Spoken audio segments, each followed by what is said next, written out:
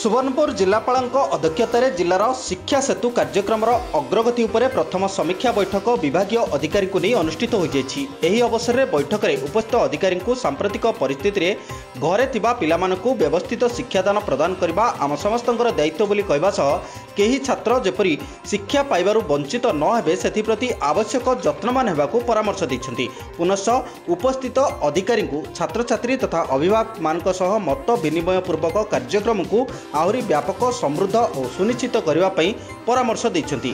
ଏହି ଅବସରରେ ଜିଲ୍ଲାପାଳ ନରବଣୀଙ୍କ ଶିକ୍ଷା ସେତୁ କାର୍ଯ୍ୟକ୍ରମରେ ପ୍ରଶଂସନୀୟ ତଥା ଉଲ୍ଲେଖନୀୟ କାର୍ଯ୍ୟ ହେତୁ ଉଲୁଣ୍ଡା ଓ ବୀରମହାରାଜପୁର ବ୍ଲକକୁ ପ୍ରଶଂସା କରିବା ସହ ସମ୍ପୃକ୍ତ ବ୍ଲକର ଅଧିକାରୀଙ୍କୁ ଧନ୍ୟବାଦ ଦେଇଛନ୍ତି।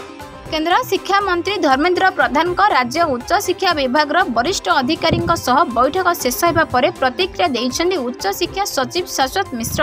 ସେ କହିଛନ୍ତି ରୁଷା ଏକ ଏବଂ ଦୁଇର ବକାୟା ଅର୍ଥ ଓଡ଼ିଶାକୁ ଦେବା ପାଇଁ ନିର୍ଦ୍ଦେଶ ଦେଇଛନ୍ତି କେନ୍ଦ୍ର ଶିକ୍ଷାମନ୍ତ୍ରୀ ଏହାଛଡ଼ା ଖୁବ୍ ଶୀଘ୍ର ରୁଷା ତିନି ଆରମ୍ଭ ହେବାର ସୂଚନା ଦେଇଛନ୍ତି କେନ୍ଦ୍ରମନ୍ତ୍ରୀ ଏହା ଫଳରେ ରାଜ୍ୟମାନେ ଉଚ୍ଚଶିକ୍ଷା ବିକାଶ ପାଇଁ ଅଧିକ ଅର୍ଥ ପାଇବେ ବୋଲି କହିଛନ୍ତି ଉଚ୍ଚଶିକ୍ଷା ସଚିବ। ଆଫଗାନିସ୍ତାନରେ ତାଲିବାନର ଶକ୍ତି ବଢ଼ିବାରେ ଲାଗିଛି। ଦେଶର ପରିବର୍ତ୍ତିତ ସମୀକରଣ ସମଗ୍ର ବିଶ୍ୱର ରାଜନୀତିରେ ଗଭୀର ପ୍ରଭାବ ପକାଉଛି। ପ୍ରଶ୍ନ ଉଠୁଛି କେଉଁ ଦେଶ ତାଲିବାନ ସରକାରକୁ ସ୍ୱୀକୃତି ଦେବ? ବର୍ତ୍ତମାନ ଏହି ପ୍ରଶ୍ନ ମଧ୍ୟରେ ବ୍ରିଟିଶ ପ୍ରଧାନମନ୍ତ୍ରୀ ବୋରିସ ଜନସନ ଏକ ବଡ଼ ବିବୃତ୍ତି ଦେଇଛନ୍ତି। ସେ କହିଛନ୍ତି ଯେ ଆବଶ୍ୟକ ପଡ଼ିଲେ ତାଲିବାନ ସହ କାମ ମଧ୍ୟ କରାଯିବ। ବୋରିସ ଜନସନ କହିଛନ୍ତି ଯେ ଆଫଗାନିସ୍ତାନରେ ସ୍ଥାୟୀ ସମାଧାନ ଖୋଜିବା ପାଇଁ ଆମର ପ୍ରୟାସ ପ୍ରତ୍ୟେକ ସ୍ତରରେ ଜାରି ରହିବ ଯଦି ଆବଶ୍ୟକ ହୁଏ ତାଲିବାନ ସହିତ ମଧ୍ୟ କାର୍ଯ୍ୟ କରାଯିବ।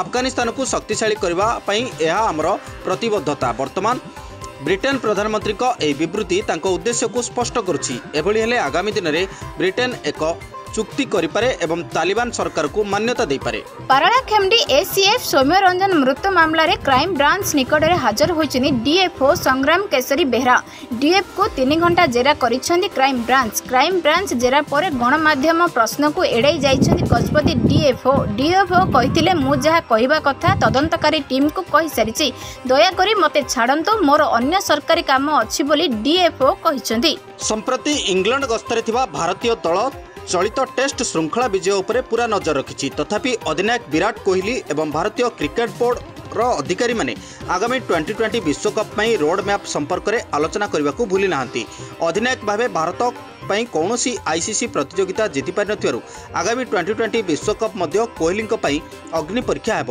କୋହଲିଙ୍କ ନେତୃତ୍ୱରେ ଭାରତ ଦୁଇହଜାର ସତର ଚାମ୍ପିଅନସିପ୍ ଟ୍ରଫି ଫାଇନାଲରେ ପରାସ୍ତ ହୋଇଥିଲା ବେଳେ ଦୁଇହଜାର ଉଣେଇଶ ଦିନିକିଆ ବିଶ୍ୱକପ୍ର ସେମିଫାଇନାଲରୁ ବିଦାୟ ନେଇଥିଲା।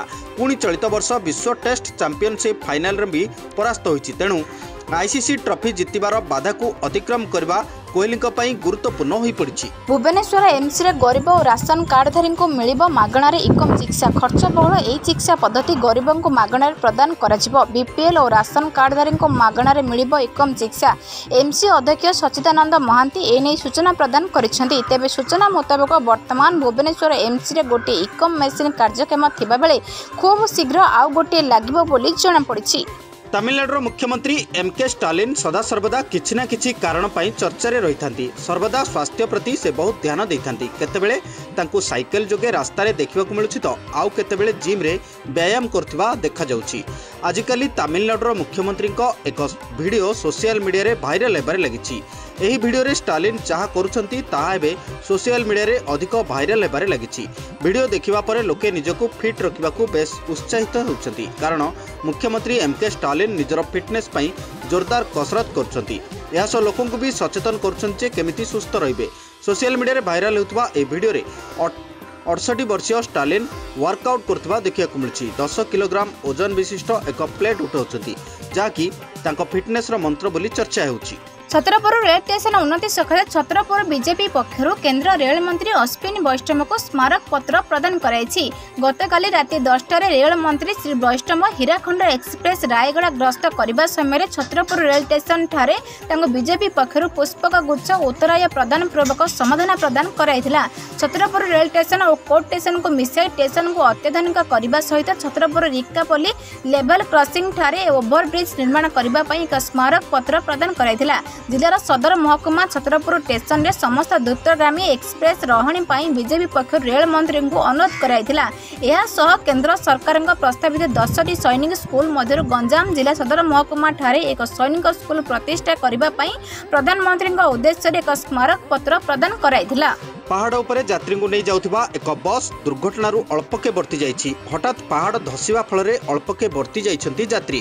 ଉତ୍ତରାଖଣ୍ଡରେ ଗତ କିଛି ଦିନ ହେଲା ବିଭିନ୍ନ ପାହାଡ଼ରେ ଲ୍ୟାଣ୍ଡସ୍ଲାଇଡ୍ ହେଉଥିବା ଦେଖିବାକୁ ମିଳିଛି। ଏହି କ୍ରମରେ ଶୁକ୍ରବାର ଉତ୍ତରାଖଣ୍ଡର ନୈନିତାଲରେ ପାହାଡ଼ ଉପରେ ଯାଉଥିବା ଏକ ଯାତ୍ରୀବାହୀ ବସ୍ ଆଗରେ ହଠାତ୍ ପାହାଡ଼ ଭୁଷୁଡ଼ି ପଡ଼ିଯାଇଥିଲା ଯାହାଫଳରେ ବସ୍ଟି ସେଠାରେ ଅଟକି ରହିଥିଲା। ତେବେ ସେଠାରେ ଥିବା କିଛି ବ୍ୟକ୍ତି ବସ୍ ଭିତରେ ଥିବା ଯାତ୍ରୀମାନଙ୍କୁ ତୁରନ୍ତ ବାହାରି ଯିବାକୁ ଅନୁରୋଧ କରିବା ସହିତ ବସ୍କୁ ପଛକୁ ପଛକୁ ଆଣିବା ପାଇଁ କହିଥିଲେ ଯାହାଫଳରେ ଏକ ବଡ଼ ଧରଣର ଦୁର୍ଘଟଣାରୁ ଅଳ୍ପକେ ବର୍ତ୍ତି ଯାଇଥିଲେ ଯାତ୍ରୀ। ନବୀନ ପଟ୍ଟନାୟକ ସ୍ୱଚ୍ଛ ଶାସନ ଦ୍ୱାହି ଦେଇ ରାଜ୍ୟରେ ମଦ ପ୍ରସାରକୁ ଅଧିକ ଗୁରୁତ୍ୱ ଦେଇଛନ୍ତି। କଟକ ସହରରେ ସାହି ବସ୍ତି ଗଳିକନ୍ଦି ରାସ୍ତାଘାଟରେ ବିଦେଶୀ ମଦ ଦୋକାନ ଖୋଲାଯିବା ଦୁର୍ଭାଗ୍ୟଜନକ ବୋଲି କଟକ କଂଗ୍ରେସ ନେତା ତଥା କଟକ ବିଧାୟକ ମହମ୍ମଦ ମୁକିମ ମୁଖ୍ୟମନ୍ତ୍ରୀଙ୍କ ବିରୋଧରେ ଅଭିଯୋଗ ଆଣିଛନ୍ତି। ସେ କହିଛନ୍ତି ମଦ ଦୋକାନ ଖୋଲାଯିବା ପୂର୍ବରୁ ବିଧି ବ୍ୟବସ୍ଥା ନୀତି ନିୟମ ସ୍ଥାନ ଚୟନ ଆଦି ଦିଗ ପ୍ରତି ଆଦୌ ଧ୍ୟାନ ଦିଆ ନ ଯାଇ ଜିଲ୍ଲା ପ୍ରଶାସନ ଓ ବିଭାଗୀୟ କର୍ତ୍ତୃପକ୍ଷ ଅନୁମତି ଦେବା ବିଡ଼ମ୍ବନାର ବିଷୟ। କଟକ ସହରର ସମ୍ବେଦନଶୀଳ ଜନବସ୍ତି ଅଞ୍ଚଳ ସରକାରୀ ଅଫିସ ଶିକ୍ଷା ଅନୁଷ୍ଠାନ ମନ୍ଦିର ମସଜିଦ ଆଦି ଅଞ୍ଚଳରେ ବେଆଇନ ଅନୈତିକ ଭାବେ ମଦ ଦୋକାନ ଖୋଲାଯାଉଥିବାରୁ କଂଗ୍ରେସ ପକ୍ଷ ଦୃଢ଼ ବିରୋଧ କରିବା ସହିତ ଆଗକୁ ମଦ ବିରୋଧ ଆନ୍ଦୋଳନ ତୀବ୍ର କରାଯିବ ବୋଲି କୁହାଯାଇଛି।